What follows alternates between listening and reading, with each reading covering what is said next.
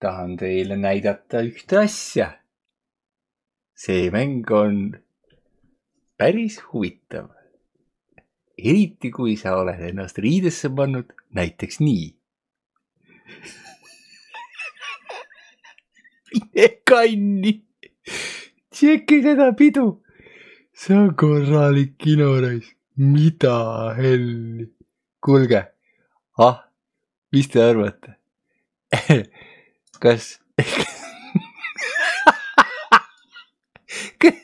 kas, kas Mortalises võiks olla ka midagi, midagi siin mingi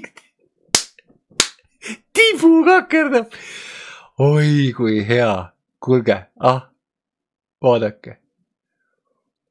noh